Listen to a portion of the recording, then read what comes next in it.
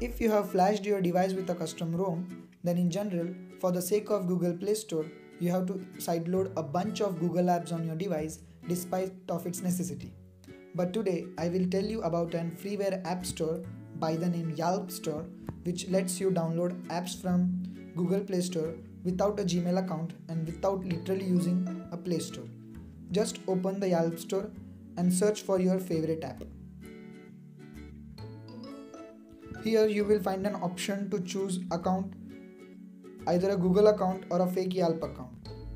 I recommend you to use a fake Yalp account as using the Google account may violate the TOS of Google which may result in suspension of your Google account.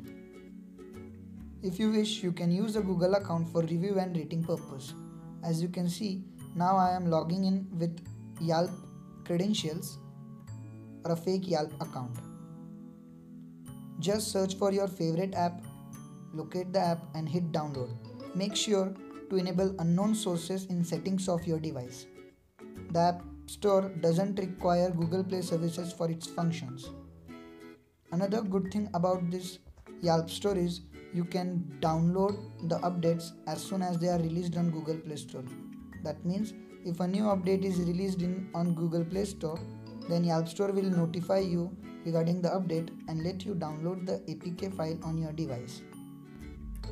There are also few settings of the app which you may find helpful like changing the download location, direct installation, changing the theme, deceiving the model of the phone and other useful settings. As I said earlier, the app downloads the APKs from Google Play Store which you can directly install on your device. Another good thing about the app is it lets you choose apps based on categories and there are large number of categories to choose from. I have provided the link in the description section and finally I would like to say that if you don't have a Google Play Store or if your Google Play Store isn't working then I would recommend you to use Yalp Store because it lets you download the apps from Play Store which are safe and virus free.